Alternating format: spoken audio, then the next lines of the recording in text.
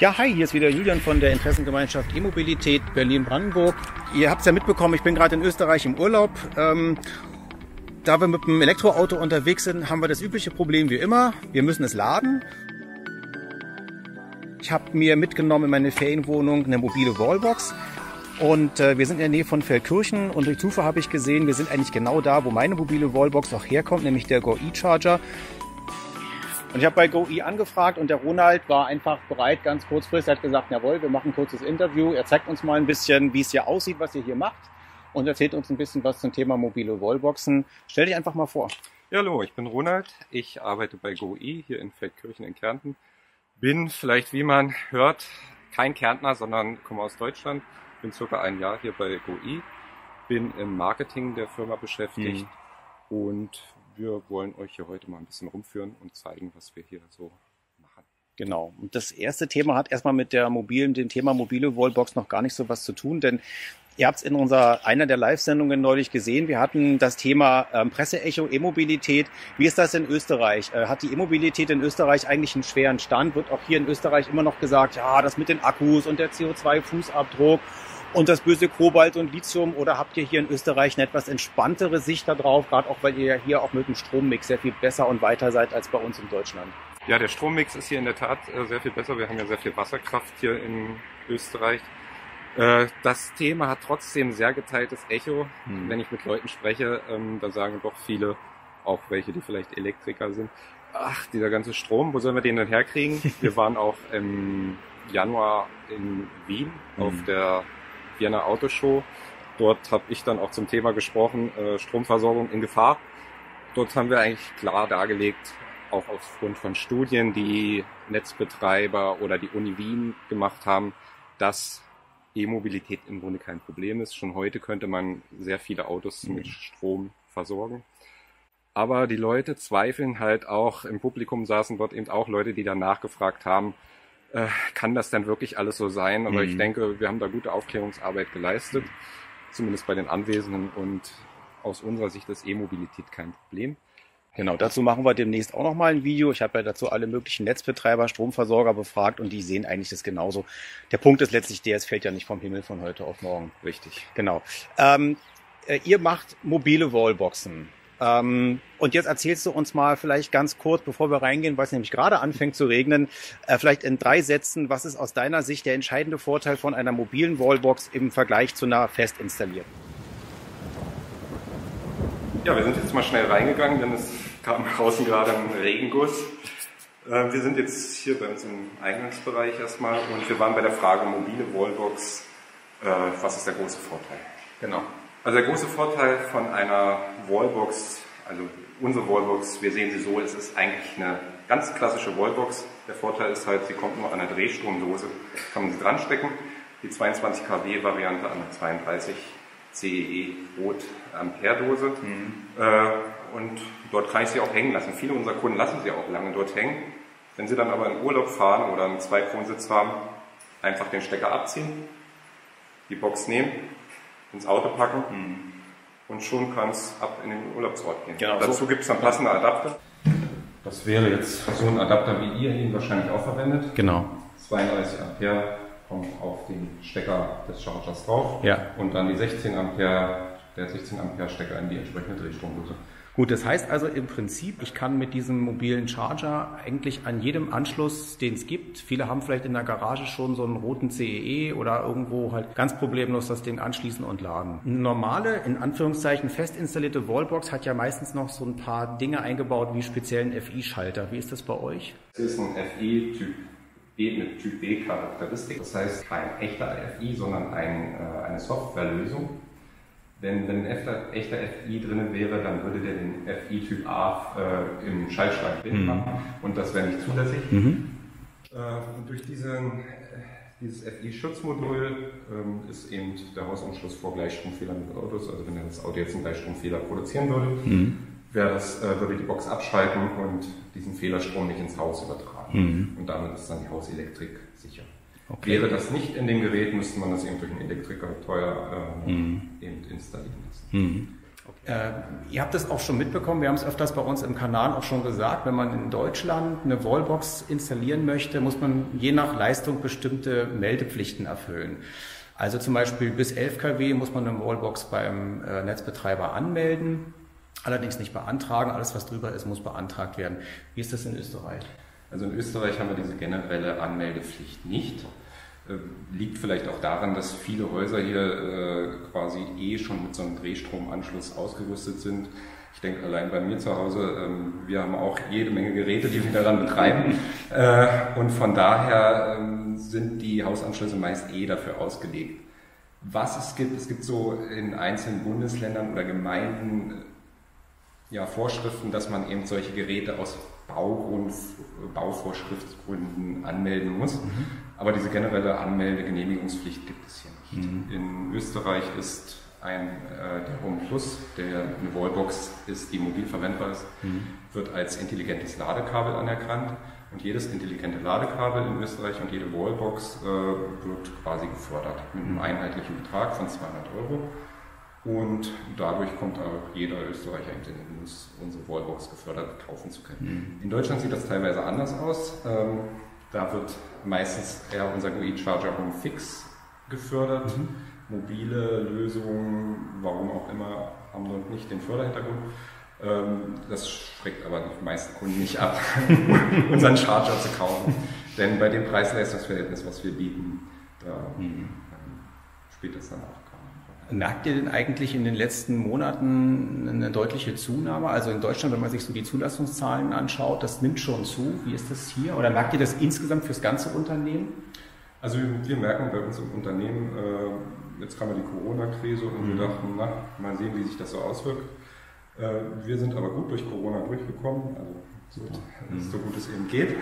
Gesund sind alle geblieben. Ja, wir halten auch hier noch den Abstand. Ich genau. hoffe, dass man das sehen kann. Genau.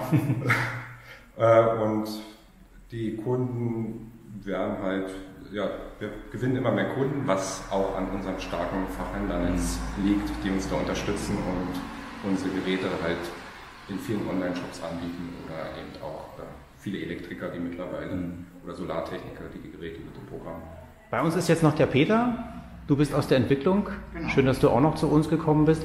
Ähm, Jetzt ist es ja so, viele, ähm, die sich mit dem Thema ähm, Elektroauto beschäftigen, die haben so noch so ganze Spezialfragen. Also da ist zum Beispiel die Frage, ähm, wie gibt es eine Möglichkeit, auch mit eurem Charger Solarstrom, den ich im Überfluss habe, irgendwie über den Charger gesteuert ins Auto zu bringen? Und ich habe gelesen, bei euch ist so ein zusätzlicher Controller in Entwicklung, mit dem das möglich sein soll. Ja, wie, wie weit seid ihr da? Gibt ja jetzt bereits eine offene Programmierschnittstelle, die API. Ähm, da gibt es verschiedene Systeme wie OpenHub oder OpenWB, die darauf zugreifen können, mhm. mit dem bereits jetzt hunderte Kunden solargesteuertes Laden umgesetzt haben. Das ist aber noch relativ schwer zum Einrichten, mhm. deswegen werden wir in Zukunft den GUI-Controller vorstellen, der halt direkt in den Sicherungskasten verbaut wird, der den Überschuss direkt am Hausanschluss misst, eben sieht, wie viel Strom aus dem Haus rein oder rausfließt und dementsprechend den GUI-Charger nachregelt. Jetzt sind bereits alle GUI-Charger dafür vorbereitet. Das heißt, man muss jetzt quasi nur noch warten, bis dieser Controller auf den Markt kommt und kann es dann in jedes System nachrüsten. Mhm. Das heißt, das ist im Prinzip so eine Art Smart Meter? Genau. der eingebaut wird und der den, den Fluss, den Lastfluss im Haus kontrolliert. Wird er dreiphasig sein? Er ist sogar sechsphasig. Also man kann drei Phasen anschließen auf der Hauszuleitung und weitere drei Phasen auf den Solarwechselrichter. Das heißt, man sieht nicht nur, was aus dem Haus rein und raus fließt, man sieht auch tatsächlich, wie viel man selbst verbraucht von dem Strom, den man produziert. Okay. Ein anderes Thema, was auch immer wieder kommt, ist das Thema Lastmanagement. Also auch in Deutschland kommt ja jetzt diese gesetzliche Regelung hoffentlich im Herbst, dass so in Tiefgaragen, bei Mietwohnungen, ähm, bei Eigentumswohnanlagen, wo viele Parkplätze sind, viele Leute in Zukunft einen Ladeanschluss brauchen, aber man unheimliche Kosten hätte, um jetzt für jeden Ladeanschluss 11 kW, nochmal 11 kW, nochmal 11 kW einzurichten. Es würde wahnsinnig teuer werden, weil der Netzanschluss halt in Deutschland so teuer ist. Also braucht man ein Lastmanagement, was das möglich macht, dass viele Autos auf dem gleichen Anschluss laden. Wie seid ihr da aufgestellt, genau. technisch? Die QE-Charger selbst können das. Man kann eine Lastmanagement-Gruppe anlegen. Ich kann sagen, wie viel Ampere ich innerhalb dieser Gruppe hergeben will. Mhm. Zum Beispiel haben wir selbst bei uns bei unserem eigenen Ladepark 80 Ampere zur Verfügung, allerdings sechs Ladestationen mit 32 Ampere, die halt zusammen deutlich mehr als 80 Ampere mhm. hergeben würden. Wenn ihr so viele Autos anstellt, dass es sich nicht ausgeht, dass jeder die vollen 32 Ampere bekommt, fangen die der Reihe nach an zum Runterregeln. Das heißt, wenn zu viele Autos drauf sind, wenn es vier drauf sind, dann bekommt jeder nur noch 20 Ampere. Mhm. Wenn eins davon jetzt wieder voll wird, dann können sich die anderen drei wieder den vollen Strom aufteilen. Und wir haben halt so eigentlich fast nie den Fall, dass tatsächlich Ladestationen runterregeln, weil die Leute sowieso nacheinander mhm. kommen. Renault Zoll zum ladet nur eine Stunde. Das heißt, es kann eigentlich fast immer jeder mit voller Geschwindigkeit laden. Trotzdem haben wir deutlich weniger Anschlussleistung verlegen müssen. So, und was, was brauche ich jetzt dazu? Wenn ich jetzt euer Produkt nehme, ähm, der Charger alleine, reicht der schon aus oder brauche ich noch ein Zusatzteil? Also ihr braucht nur WLAN-Verbindung, sonst reicht der Charger alleine aus. Der braucht keine Smart Meter, gar nichts. Ich mhm. kann einfach statisch einstellen, wie viel Ampere der Gruppe zur Verfügung stellen möchte, braucht dann kein weiteres Gerät. Das, das Ganze funktioniert dann über die App. Dort kann ich eben die Gruppe einrichten und auch Prioritäten verteilen. Mhm. Es kann ja sein, dass jemand wirklich ein Auto mit hoher Batteriekapazität hat aus der Familie zum mhm. Beispiel äh, und der fährt auch viele Kilometer. Das heißt, dem kann man mehr Ampere zur Verfügung stellen als vielleicht mhm. jemand, der nur 10, 20 Kilometer am Tag fährt. Äh, der braucht ja eh nicht viel, um zu laden. Das heißt, nochmal zum Verständnis, also bei eurer Lösung ist kein zusätzlicher Controller nötig, sondern die, die Charger unterhalten sich untereinander und teilen die Last untereinander auf. Genau, das nennen wir, äh, nennen wir das statische Lastmanagement. Ja. Mit dem GUI-Controller wird es dann auch ein dynamisches Lastmanagement geben. Ja. Das heißt, dort sind, kann man dann auch eben Geräte aus dem Haushalt mit einbinden, so dass der Controller eben auch, äh, je nachdem wie man es eingestellt hat, mit äh, festlegen kann, okay, der Charger, äh, der Charger soll jetzt nicht laden, weil jetzt ist mhm. gerade Waschmaschine, Herd oder was auch immer dazugekommen. Mhm. Und die sollen jetzt meinen PV-Strom äh, nehmen. Also das kann man eben auch festlegen. Ich will zum Beispiel nur mit PV-Strom laden. Und dann äh, könnte man festlegen, welche Geräte wie äh, eben mhm. funktionieren sollen. Okay, und das bringt jetzt jeder Charger von Haus aus schon mit. Da braucht man keine extra Option irgendwie zu buchen. Also für das statische Lastmanagement braucht genau. man keine extra ja. Option. Äh, das dynamische würde dann mit dem GUI kontrolliert. Okay. Und das, das letzte Thema, was auch immer wieder angesprochen wird, ist ähm, das Laden mit unterschiedlichen Tarifen. Also ich habe gelesen bei euch auf der Homepage, äh, man kann bei euch den Charger an einen bestimmten Stromanbieter quasi irgendwie anschließen ähm, und dann vom Börsenpreis profitieren. Ist das so richtig? Ja, das ist über Avatar. Wenn man Smart Meter hat, kann man selbst stündlich, Strom, stündlich seinen Strom abrechnen. Das heißt, der Strom kostet jede Stunde was anderes. Mhm. Das, was er halt gerade an der Strom, äh, Strombörse wert ist. Und das ist ja schon im Voraus bekannt. Da gibt es die Day-Ahead-Aktion, das heißt, ich erfahre heute schon, wie morgen zu welcher Stunde die Strompreise sein werden. Und ich kann am QE-Charger einstellen, ich möchte zum Beispiel um 7 Uhr losfahren, ich möchte zwei Stunden laden, mhm. ich stecke am Abend an, es lädt jetzt nicht sofort, weil am Abend sind die Strompreise meistens am höchsten. Es ladet dann irgendwann um 3 in der Früh, wann halt der Strompreis gerade am niedrigsten ist. Und in der Früh wird es dann trotzdem voll. Und das wird automatisch schon in die Zeit verschoben, wo ich am wenigsten für den Strom zahle. Und das sehe ich dann wirklich an der Stromrechnung. Oft passiert es sogar so, dass der Strompreis negativ ist, dann ladet der GoE-Charger natürlich zu dieser Zeit, vor allem jetzt während der Corona-Zeit, dann wird es bei uns daheim geschafft, einen Strompreis von unter, einer Cent pro, von unter einem Cent pro Kilowattstunde umzusetzen, weil wir halt immer dann geladen haben, wo der Strompreis negativ war und dementsprechend Geld zurückbekommen haben. Also in Deutschland, ja? Weißt du noch, was der Strompreis in Deutschland kostet? Ich glaube, ich war so bei 27 Cent, also je Kilowattstunde. Ja, aber genau, das ja, ja, ja, Netzgebühren ja, ja, ist klar. Aber die kommen hier natürlich auch dazu. Ja, ja. Aber äh, der reine Strompreis, äh, ja, was der war, ich also mal an so 8, 9 Cent oder ja, so in dem Bereich. Eine tolle Lösung, die äh, bei hier, hier konstruiert habt. Komplett made in Austria? Genau. Wahnsinn. Okay. Also Peter ist ja quasi Mitbegründer des Unternehmens. Oh, okay. Oh. das heißt, da stecken ganz viele Ideen auch von ja. ihm. Ja, super.